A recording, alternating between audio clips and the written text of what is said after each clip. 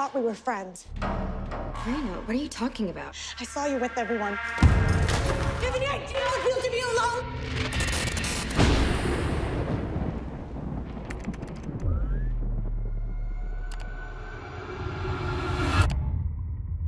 Marina is that typical girl you avoid on campus. She has this, like, I don't want to say dark, but a strange exterior about her.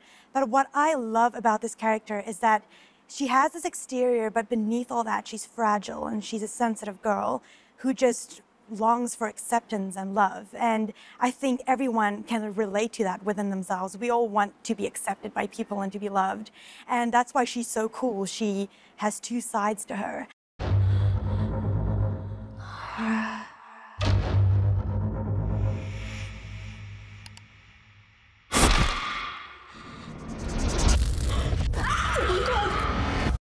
Simon is amazing. Like I, I just have to say, he's he's wonderful.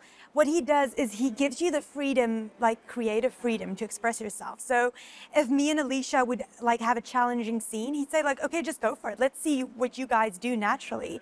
And so yeah, he's not too technical of like hit your mark. And just do what you want to do, and we'll kind of work around it. And him like being an actor, I think what more can you ask for? It's like he understands your whole process. And Simon is just always in a good mood. What I what I like most about Simon is he's so enthusiastic about this movie that sh- it just creates this amazing environment on set. I don't think this was a suicide. I think it was a ritual.